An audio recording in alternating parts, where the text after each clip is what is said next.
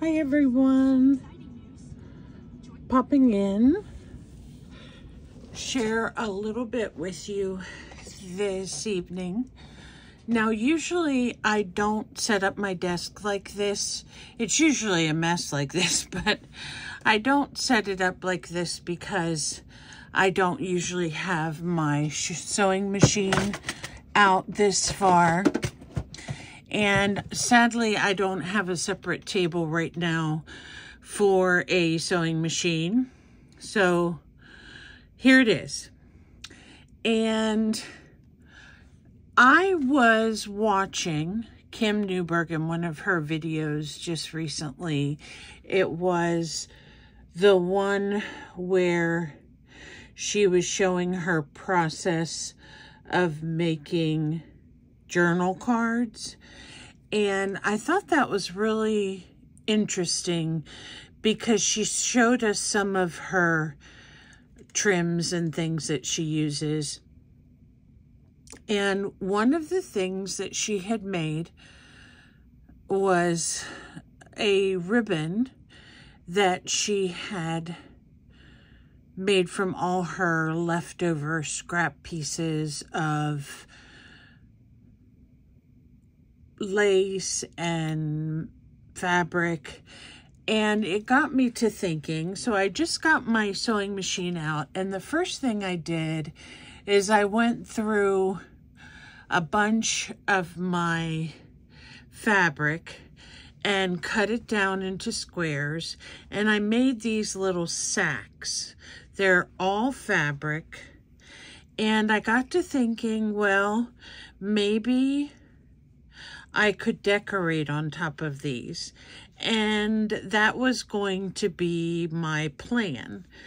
And I still may do that. But these are, there's nothing special to them. They're just sewn. So whenever you send them, you would have to put a tie around them like this.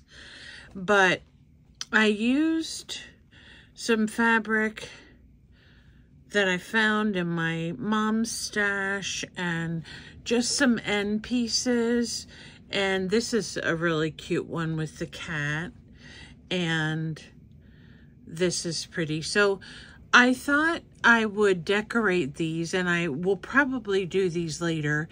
And this is actually a piece that was a triangle and I made it so that it could be a corner tuck spot on a page. So I'm going to be making a fabric journal and I'm going to make some of the pages paper and some of the pages fabric and it will be more of a mixed media type and shabby and eclectic. So if you aren't familiar with those terms, eclectic is basically a mishmash of all different styles. So kind of like a crazy quilt. So that's what I am going to be doing. And this, these little sacks, there are some of them that will probably end up going into the journal. They can be clipped in. They can be um, tied in by, um, you can tie them shut and then clip them in or design some type of special clip for them. So I'm excited to work with those. And I made a bunch that day. And um, so that's the story about the bags or the sacks. Then I started thinking about making some cuffs, but with the example of Kim's ribbon, I decided to save some of the offcuts from making the little bags and I'm not sure if you saw one of my other videos, but I had been fussy cutting flowers out of some different fabrics that I found. So this is the first one I made, and it has different fabrics and mainly a straight stitch and even a piece of paper in here. And then I put a little loop on the top so that it could be like a tag for a journal. And when I sewed this, I went around the middle somewhat um, with the sewing machine. That's a little bit challenging for me. So um, I didn't do that. Well, yes, I did do that a little bit on the second one. Now, the second one is a little bit longer because the flower pieces I had were a little bigger and I used um, lace and I used some paper and I put a tab on this one too. So what I was thinking for these is these could be like a little bookmarks or just colorful additions to a page. Then I got to thinking about how cool it would be to make some fabric belly bands. So Kim had given me a, a material. It was like a um, table napkin of sorts, but it has all these little squares that you can cut out the flowers. Well, it had butterflies on it, so I cut out the butterflies, and then I cut out this flower here, and then I just, instead of sewing around each piece, I just sewed, um, stitched straight through so that it would look uni more uniform. And the back looks much better too, which when they're in a journal, you're not going to see the back anyway.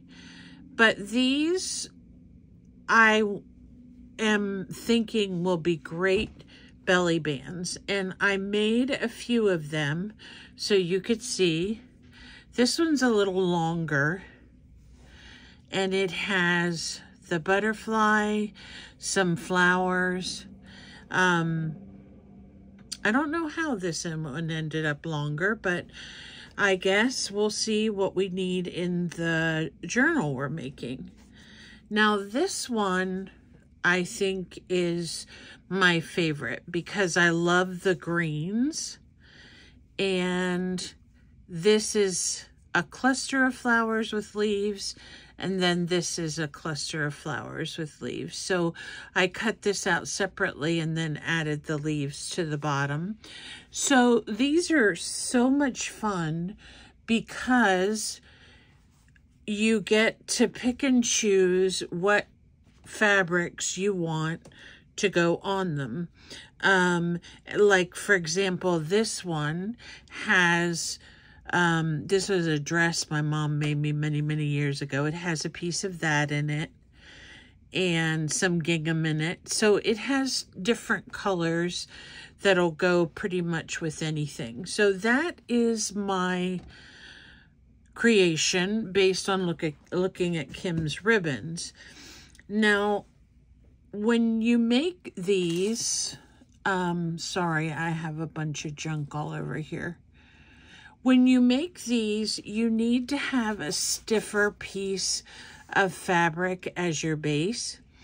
So this is, I don't know what this is, whether this is a cotton blend or polyester or what, but it is a, a little bit stiffer and I found this beautiful floral piece and I think I am going to leave the selvage and just stitch right over this. But I want some of the green to show because that's going to be the base. And actually, I had a piece of blue here. Let me see how long this blue is. It's not long enough.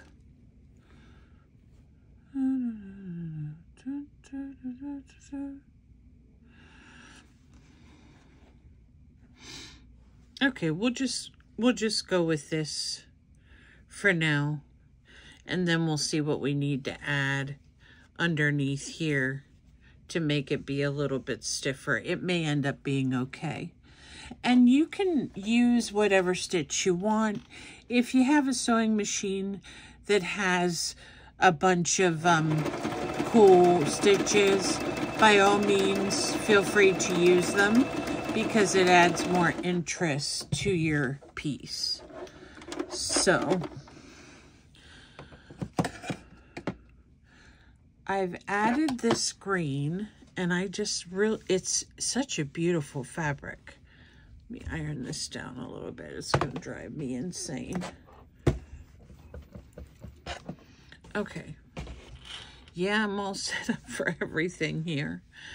So I added this green fabric and then I was looking through some of my boxes that I have and I decided I would go ahead and add some lace to some of these because who doesn't like lace, right? So I'm going to add the lace right down the middle and it'll also help to catch that green that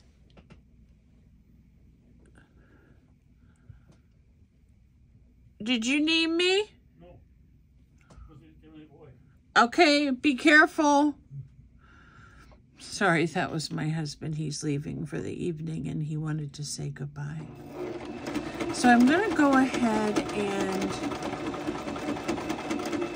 put in here this lace and I'm going to go all the way down to the bottom so that it catches onto that green. Now, I just sew willy-nilly, so I don't know if this will end up being this long or if I'll snip off the end.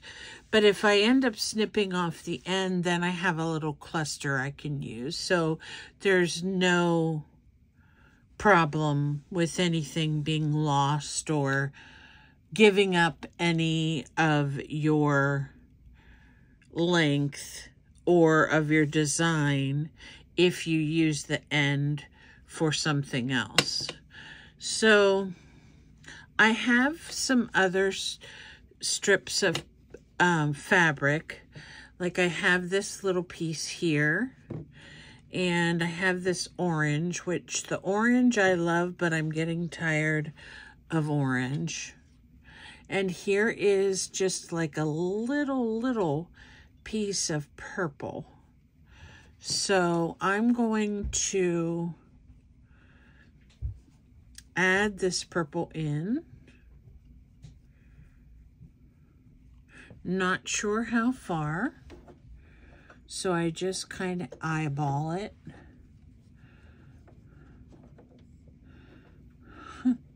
I wonder where that expression came from. That's funny. I'm just going to position it with my eye, not worrying about it being necessarily even. Now this particular fabric is not really meant to be torn. So when you tear it, it curls up and I need to straighten it out as I go. So bear with me just a second. And actually, I'm only going to add a piece to it because that is the coolest part of this project is you don't have to go the whole length with the fabric that you're using. And we'll go ahead and put this little guy on here. It's like a red and black of some sort. I don't know what else I have. So he's going on there. Now this one's a wider piece and the the lace is underneath. So I'm just going to switch over to a zigzag. And and put that on since it was a wider piece. Now I'm using a very light pink thread. Um, and the reason being is I don't want the thread to take away from the design of the belly band because I feel like I want the colors and the different fabrics to be the star of the show for this. So I have some of this pretty blue. This is a very, very light cotton. It's so pretty. It's modern, so not anything. I think I bought it probably a couple years ago, so it's not very old at all.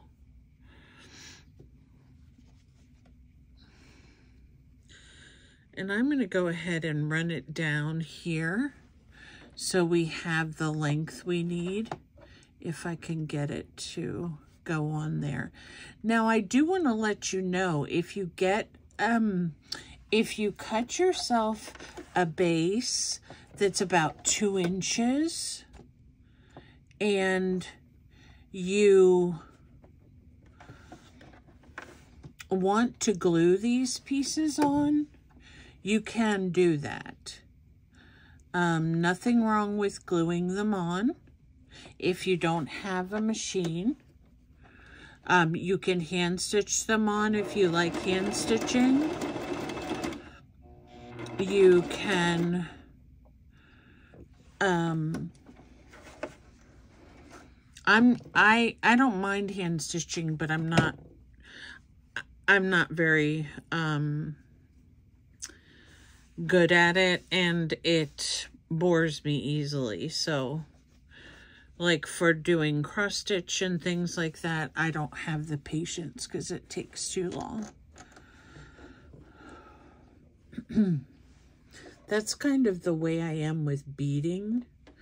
I would love to be able to bead, but I think it takes it takes too long and um, I would get frustrated because it would take too long.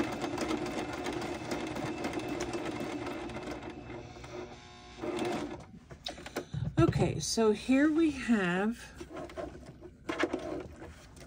this really long piece. And I can keep adding fabric and layers of fabric as I want to. But for the sake of the video, I'm going to show you how I add the ends. That way you can try this yourself. Now, in looking at this, particular piece, it's definitely too long. So I'm going to cut it right here at this point, and then I'll save this these three pieces for my next one that I do. So I hope I have some small enough flowers to go on here because a lot of the ones I cut out were bigger than I thought. Here's one. And I try whenever I do this to not leave too much of the leaf part or the flower part overlapping. Although you kind of have to look at it um, like you would like it. So I think that's good. Now, one thing I do for this is I do get a piece of double-sided tape and I just put this in position because I don't want to lose, you know, where I had it. So I'll just put a piece of tape here and then put it on and then I can make sure that I wanted to stick up some so it can give it a little bit of length. And then on this side, I think what I'll add, this is pretty, and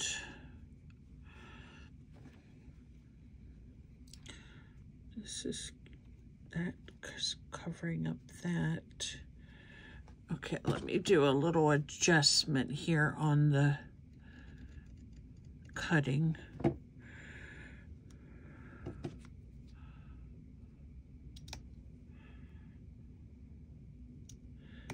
This would also be fun with strips of paper. I haven't tried that, but I'm sure it would be fun.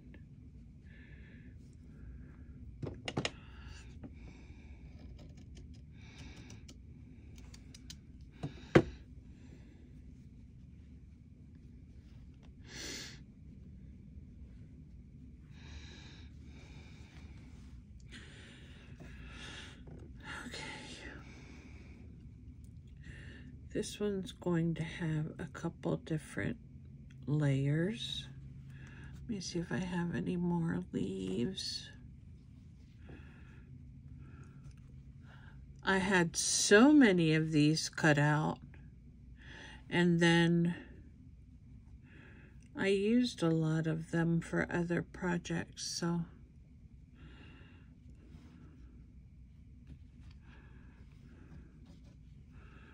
How would the butterfly look right here on top?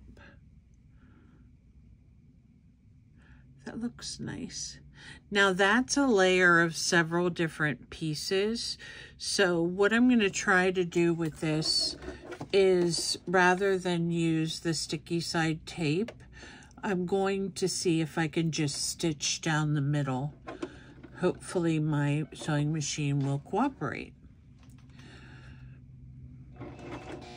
Oops. Run it on a straight stitch. Sometimes it wants to get stuck and I I don't know what causes that. But sometimes I think I have my bobbin too loose and then I tighten it and then it seems like it's too tight. So I just go with whatever. Okay, so here we go with um, the design for this one. So the design for this one is we have like a cluster of flowers here and leaves, and then we have a butterfly. And then on this end, we have a flower with leaves that's all one piece. So what I will do is I'll I'll sew down all a few of the rows here so it will catch everything and then we'll have this really cool belly band. If I find any other little pieces of something that I want to add on here, I can do that. Like I have some tatting that's in green and white you know, a piece of that on there would look cute. So there's all kinds of things that you can add to your project, to this project to make it look more interesting. And if you wanted to put, for example, a piece of this orange right here in the middle, that might help those two pieces kind of come together. So I really enjoyed this project. It doesn't take a whole lot of time. The the the the most time consuming would be doing your fussy cutting and then laying out your your um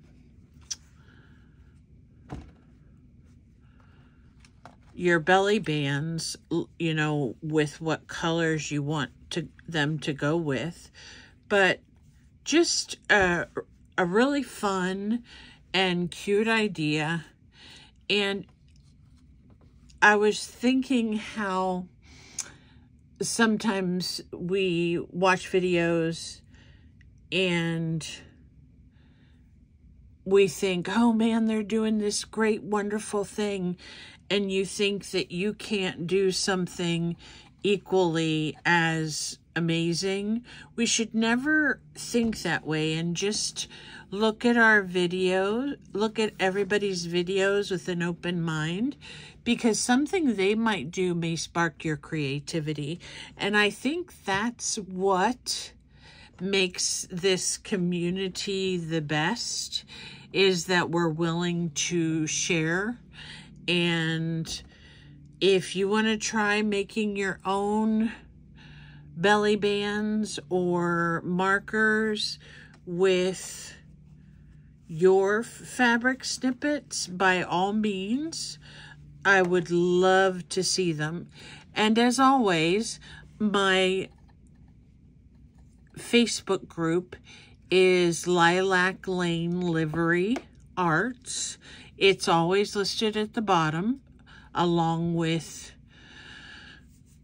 my Ko-fi shop. So if you are interested in trying your hand at these, either by gluing them or by stitching them, and you post your photo under my video on the, my Facebook page, you get an envelope from me. So uh, have fun with this and it's very relaxing. I have had one of the most stressful like five or six days and could not think of anything that I would enjoy doing right now. And I have piles of stuff that I could use. But when I saw Kim's ribbon and I started making the little pockets or sacks or um, bags and then onto this I it just really really helped my creativity. So I hope I can do the same for you and thank you so much for stopping by. Have a great evening. Bye for now